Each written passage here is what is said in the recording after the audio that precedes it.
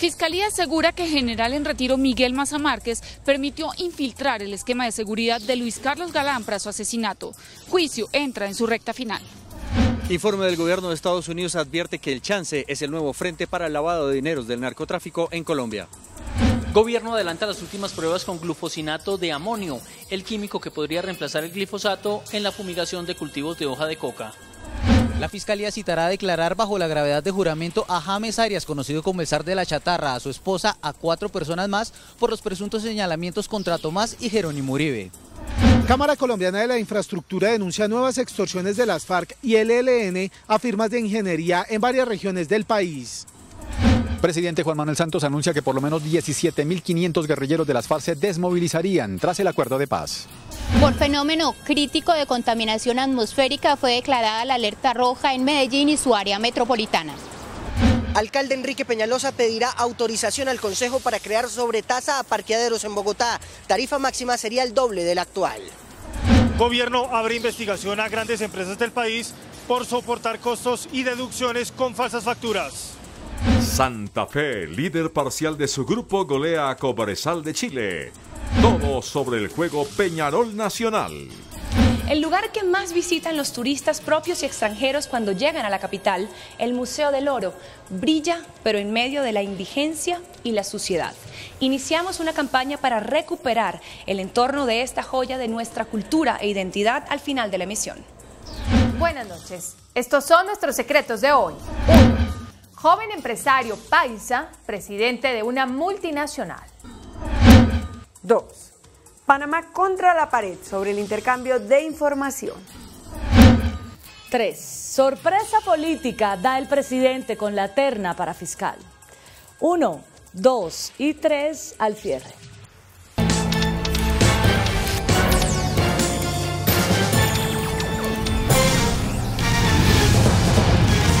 Buenas noches. La Fiscalía le pidió a la Corte Suprema de Justicia que condene al general en retiro Miguel Maza Márquez como responsable de haber pactado una alianza con grupos de autodefensas para perpetrar el asesinato del líder Luis Carlos Galán Sarmiento.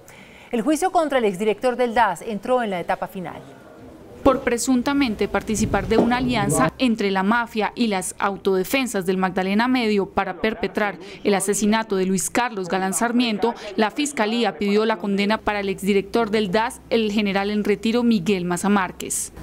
Permiten llegar, arribar a esta conclusión en grado de certeza y por ende solicitar a esta corporación que sea declarado responsable del delito de concierto para delinquir agravado la Fiscalía sostiene que por iniciativa de Alberto Santofimio, los capos Pablo Escobar y Gonzalo Rodríguez Gacha, alias el mexicano, tomaron la decisión de asesinar al candidato liberal en una reunión en la que se pactó que el atentado se haría en Bogotá y se infiltraría su esquema de seguridad.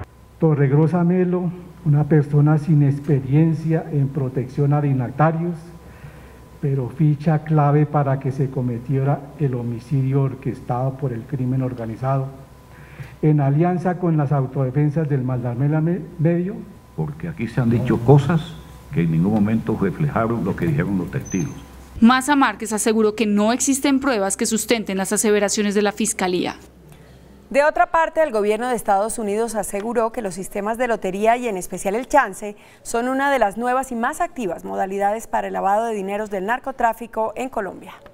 El informe del Departamento de Estado titulado Estrategia Internacional de Control de Narcóticos destaca en su capítulo sobre lavado de dinero y crímenes financieros que los sistemas de lotería son el nuevo frente de los dineros ilícitos del narcotráfico en Colombia. Hay indicios de que gran parte de la actividad de lavado de dinero se ha trasladado a las loterías llamados chance que son fácilmente explotables. El organismo afirmó que Coljuegos ya está al tanto de la situación y que están adelantando investigaciones para determinar cómo funciona el blanqueo a través del chance. Coljuegos prosigue sus estudios para comprender mejor los casos de transacciones sospechosas en los juegos de chance, pero es una organización pequeña con personal y recursos limitados. El informe también destaca el contrabando como una de las estrategias más utilizadas en Colombia para el lavado de dinero, así como las transacciones en casinos y hasta los minutos de celulares prepago. El Departamento de Estado concluye que pese a la lucha contra el narcotráfico, el lavado en Colombia sigue penetrando la economía y afecta a sus instituciones financieras y pide la aprobación urgente de leyes que fortalezcan a los organismos que combaten este delito.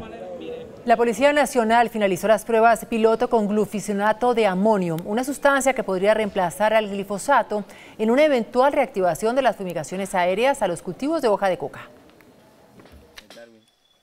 El potencial de producción de cocaína en Colombia creció 30% y el área sembrada con hoja de coca 39%, según el informe del Departamento de Estado de Estados Unidos. Entre las fórmulas que evalúa el gobierno nacional está una nueva etapa de fumigaciones aéreas.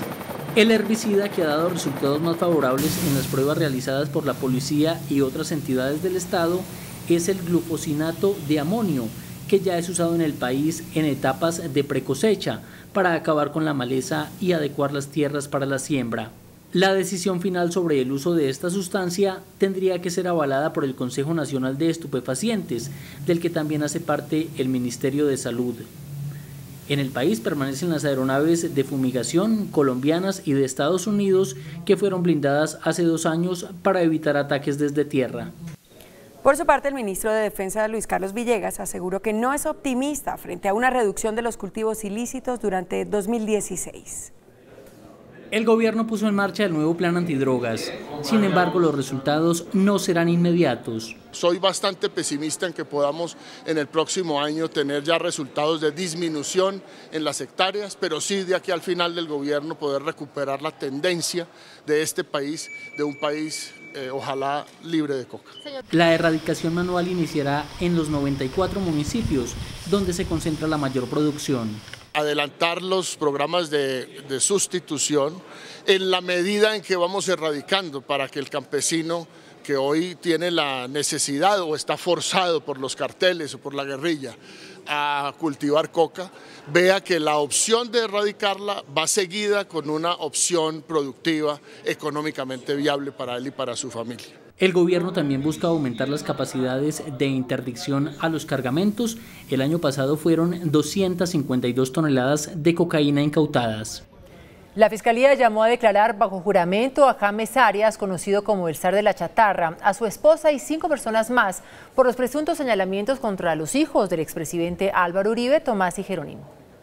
Este miércoles en horas de la tarde será escuchado bajo la gravedad de juramento James Arias, conocido como el zar de la chatarra, mientras que su esposa Diana Ochoa lo hará en horas de la mañana. Ella ha asegurado que hay supuestas presiones de la presidencia para que Arias declare en contra de Tomás y Jerónimo Uribe. También serán escuchados esta semana los extrabajadores de los hermanos Uribe, identificados como Guillermo Londoño, Diego Guzmán y Johan Scheuten. De los dos primeros entregaron sus declaraciones juradas, según las cuales habrían escuchado de las supuestas presiones. Más adelante será escuchado el abogado del Centro Democrático Víctor Mosquera, quien habla de presuntos ofrecimientos desde la vicefiscalía. Después de Semana Santa, la Fiscalía General también escuchará al secretario de Transparencia de la Presidencia de la República, Camilo Enciso, quien ha sido mencionado por Tomás y Jerónimo Uribe.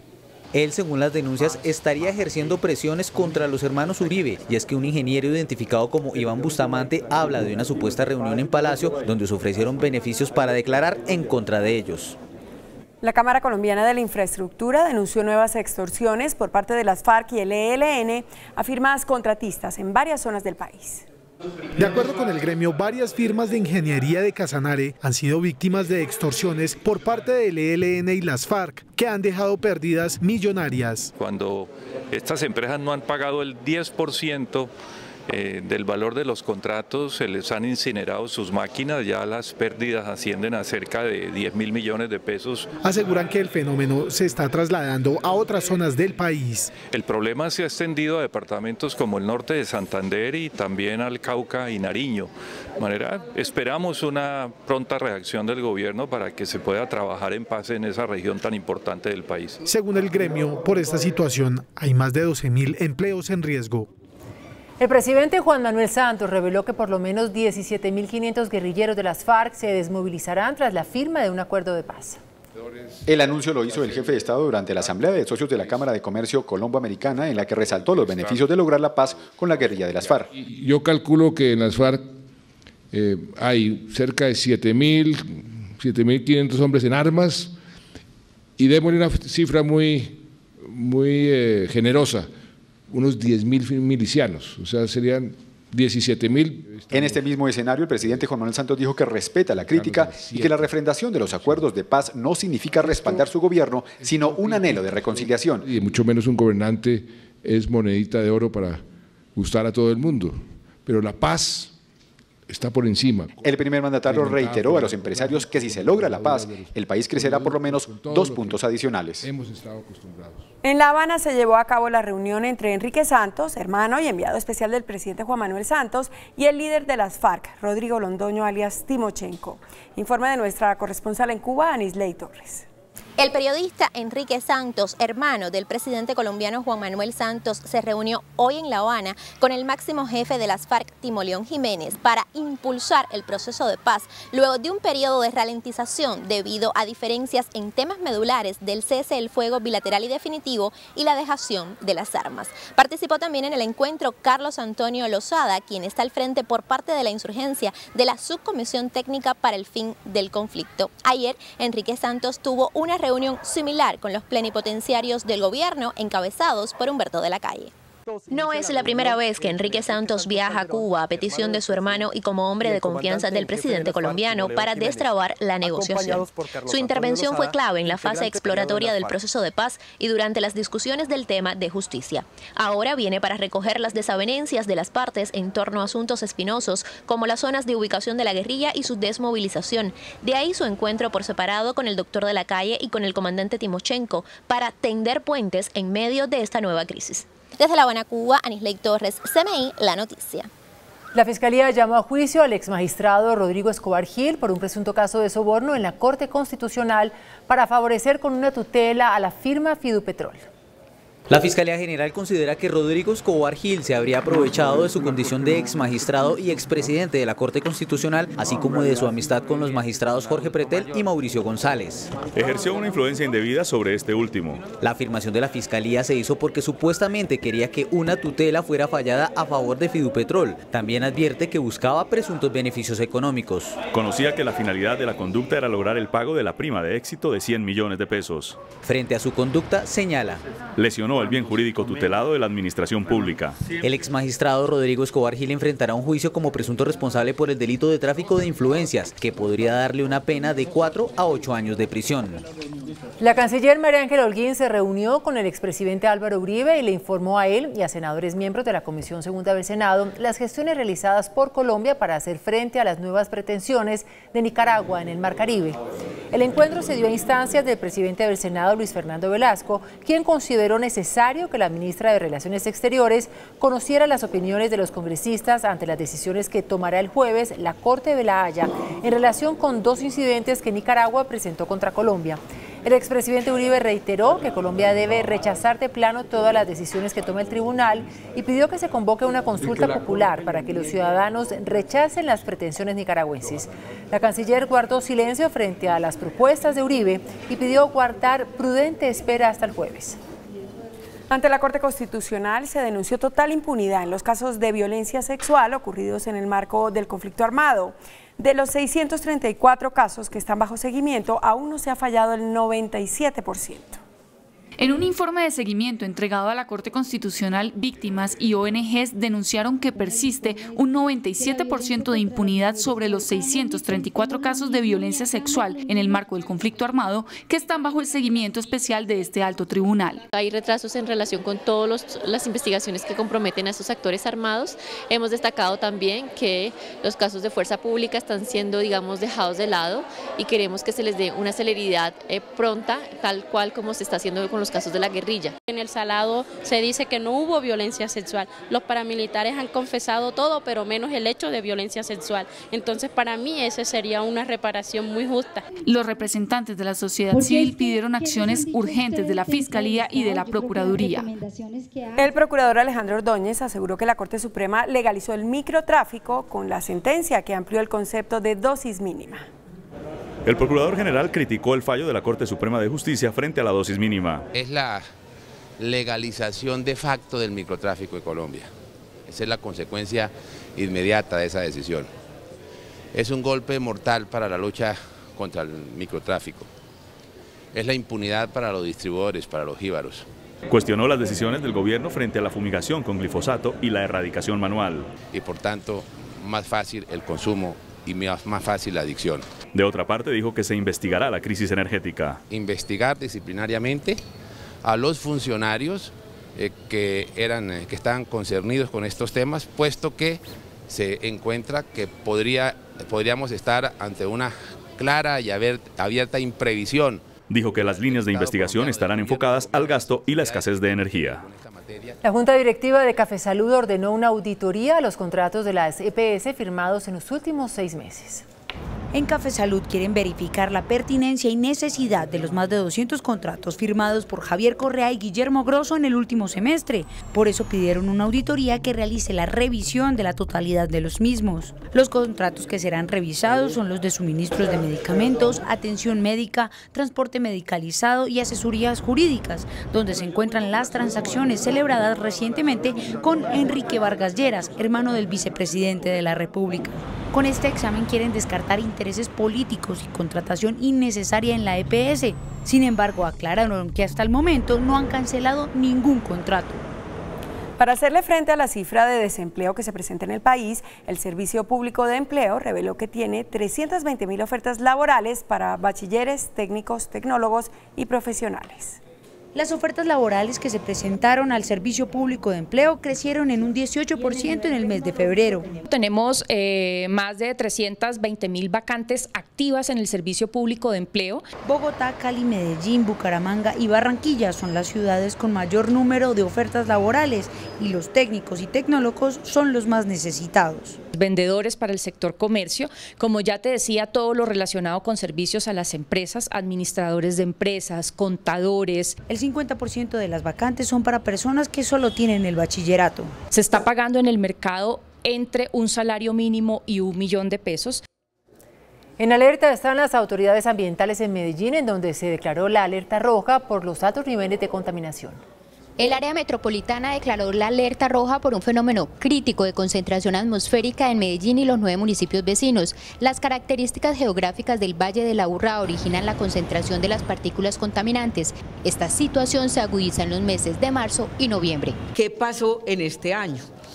Eh, las condiciones se volvieron más críticas. Tenemos fenómenos externos, tenemos un evento pequeño de arena del Sahara, tenemos incendios en el oriente del país y de Venezuela. Según los expertos, Medellín está superando la norma diaria colombiana y la contaminación de Bogotá. Traen, digamos, repercusiones en la salud de tipo respiratorio, básicamente, como decimos, para población que tenga alta vulnerabilidad. La recomendación para los habitantes del Valle de la Urra para evitar contaminar más es no usar vehículo particular, sino transporte público. Y para no sufrir enfermedades respiratorias, evitar hacer ejercicio en exteriores entre las 6 y las 10 de la mañana, que es cuando más concentrada está la contaminación.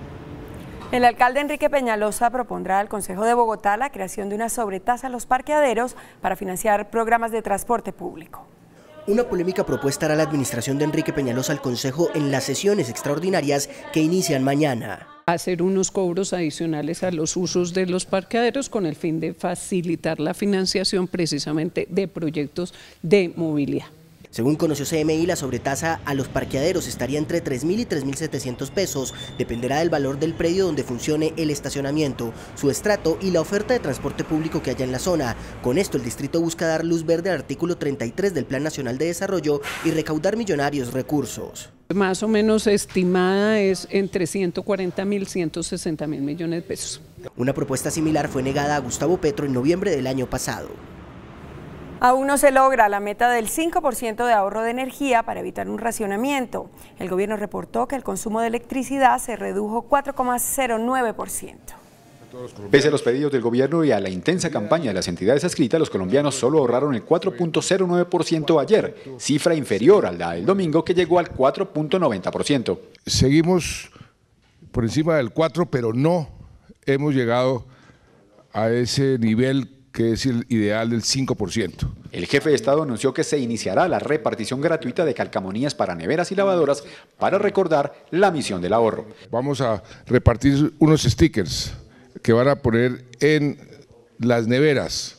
El próximo jueves se analizarán nuevas medidas para incentivar el ahorro de energía. El director de fiscalización de la Diana Leonardo Sicar denunció una millonaria estafa a la entidad por parte de empresas que presentan facturas falsas para pagar menos impuestos. La Dirección de Fiscalización de la entidad abrió investigación a 222 empresas que soportaron costos y deducciones con facturas falsas para disminuir la base gravable y declarar menos impuestos. La millonaria defraudación, que supera los 68 mil millones de pesos, se dio en sectores como construcción, comunicaciones y servicios. Estamos hablando de cerca de 68 mil millones de pesos el valor de la facturación.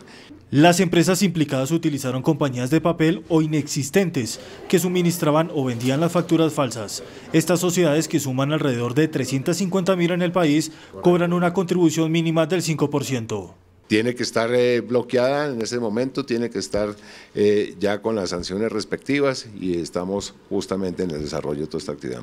Se determinaron organizaciones empresariales que han comprado facturas por más de 10 mil millones de pesos. Es una práctica que diría uno que no es nueva, sino es una práctica que utilizan cotidianamente las personas que quieren defraudar al fisco. Se espera el desarrollo de las investigaciones para imponer las sanciones económicas e incluso penales. Hay polémica frente a una propuesta del Ministerio de las Tecnologías para revivir las cláusulas de permanencia para financiar la compra de celulares. Algunos operadores advierten que la medida generará millonarios costos para las compañías.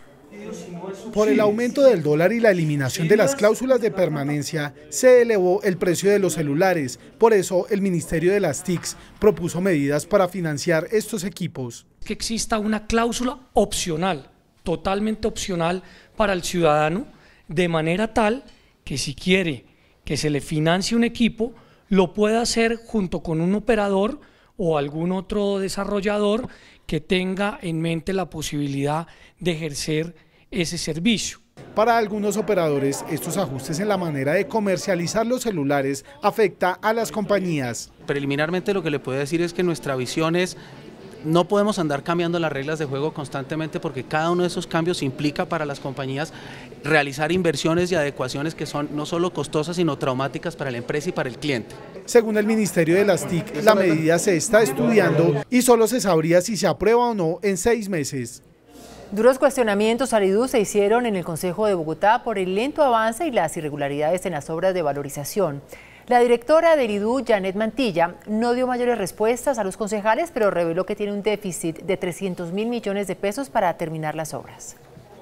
11 años después de haberse aprobado, las obras de valorización en Bogotá siguen siendo un dolor de cabeza. Que se le está cobrando a los ciudadanos unos, unos montos de valorización sin antes tener estudios previos, sin antes tener eh, impuestos de predial, compra de lotes. Después de 11 años no ha avanzado ni en un 50%.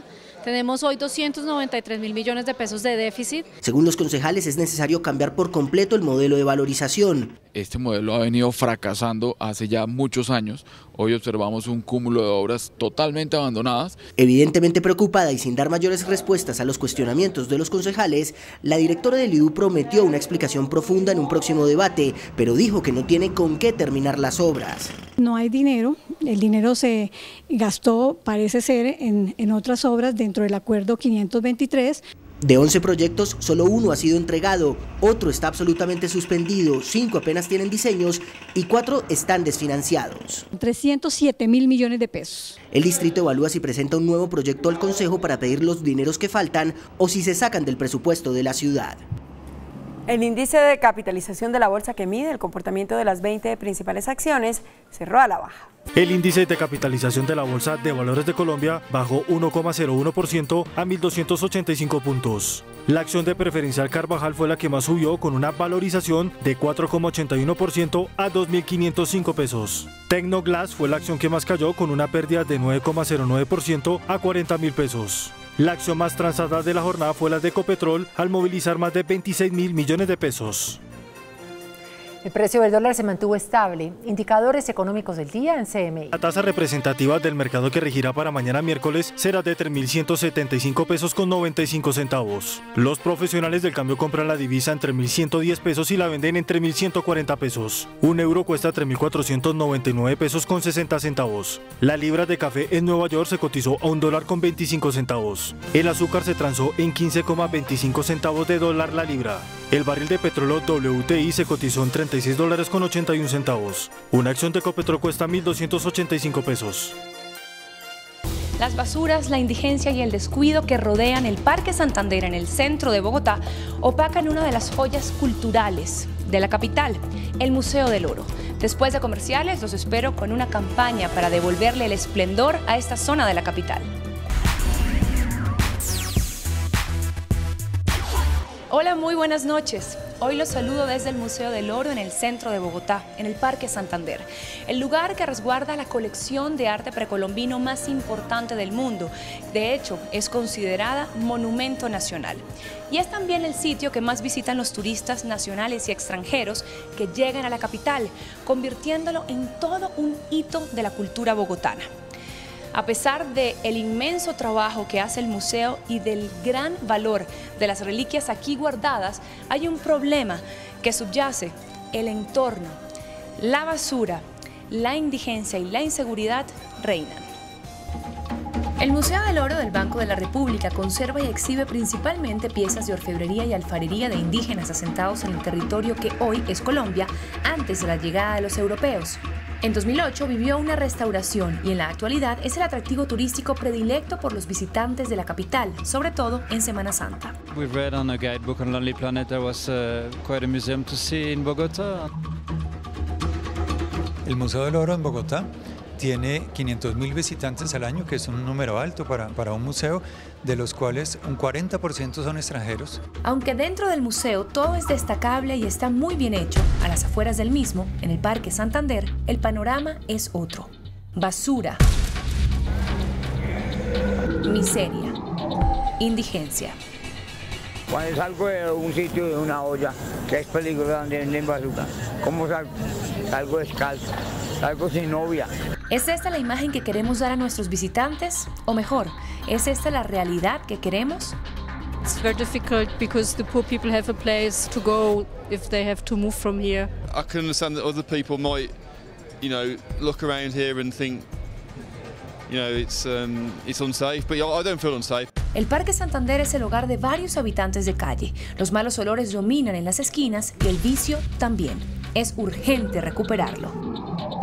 Mi reina universal de la belleza, Ariadna Gutiérrez, sigue cosechando éxitos en el mundo del entretenimiento.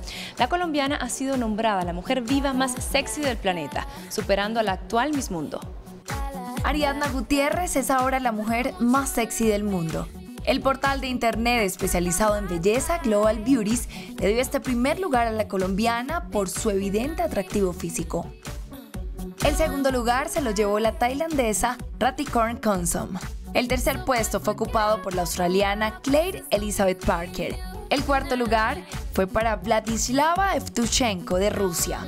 Y en el quinto puesto está la actual Miss Mundo, la española Mireia La Laguna. El listado es realizado anualmente desde hace 16 años y cuenta con la opinión de expertos de moda, reinados y modelaje. La siguiente parada de la moda internacional es Tokio. La capital japonesa inauguró su Semana de la Moda con estas propuestas. La moda en ocasiones sorprende, con propuestas futuristas, y es que Tokio inspira para que esto ocurra. En esta capital se desarrolla el Mercedes-Benz Fashion Week, en el que las propuestas más vanguardistas del planeta tienen su espacio.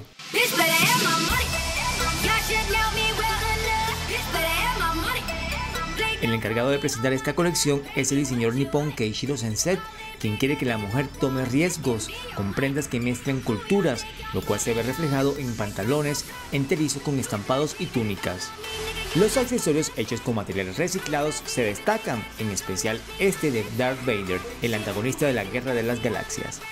Inspiración militar también marcó la tendencia, abrigos con estampados estilo pixel, vestidos y los botines sobresalieron.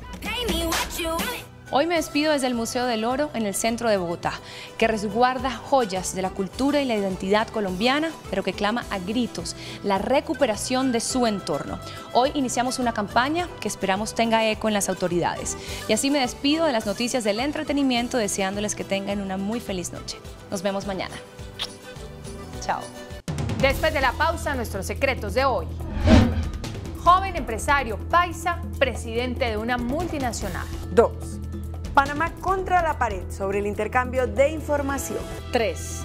Sorpresa política da el presidente con la terna para fiscal. 1, 2 y 3 después de comercial.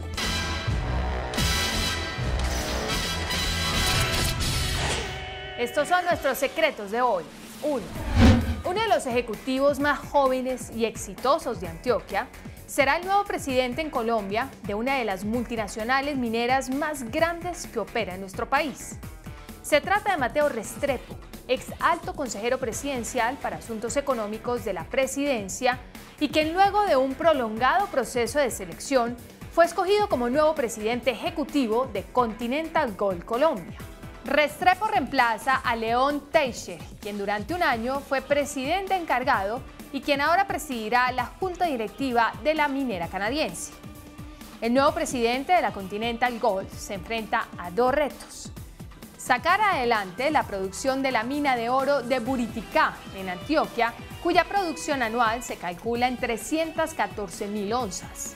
El segundo reto será buscar los recursos que necesita la compañía para sacar adelante el proyecto. 2.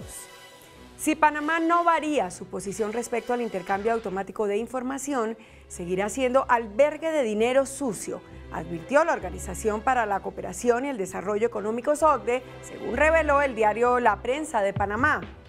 La organización le advirtió a Panamá que si no se decide implementar en su totalidad y sin reservas el modelo de intercambio automático de información financiera, se expone a que lo escudriñen y a que se instale la sospecha de que de buen grado alberga dinero sucio.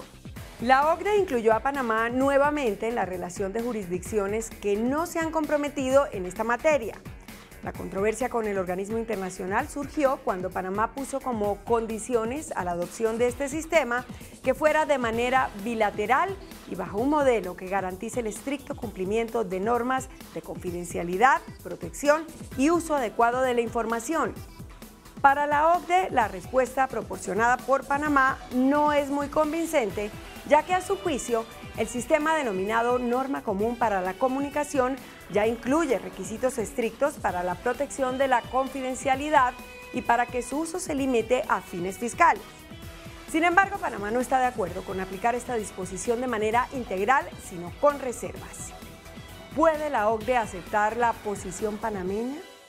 Pues Panamá ha decidido no comprometerse con el intercambio de información fiscal automático, pero ha indicado que lo implementará a partir de un modelo propio. Los miembros del Foro Global sobre Transparencia, que engloba más de 130 países, incluyendo Panamá, han expresado su decepción con el fracaso de Panamá. Y esto es también verdad para los miembros del G20 que han promovido el estándar de regulación del intercambio automático de información fiscal. 3. Se acercan las elecciones de fiscal general, procurador general y defensor del pueblo.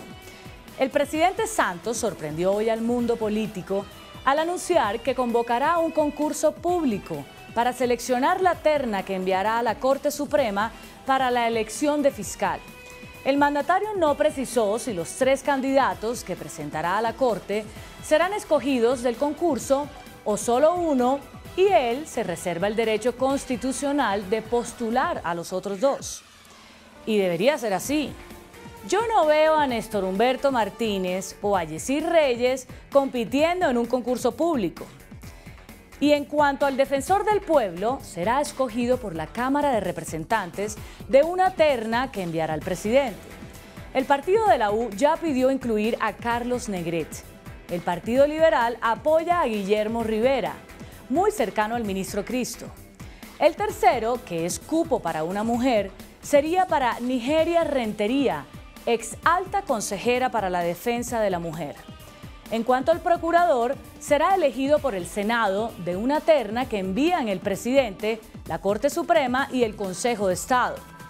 Se mencionan los nombres de Aurelio Iragorri, actual ministro de Agricultura, Pablo Felipe Robledo, superintendente de Industria y Comercio, y el exministro Fernando Carrillo.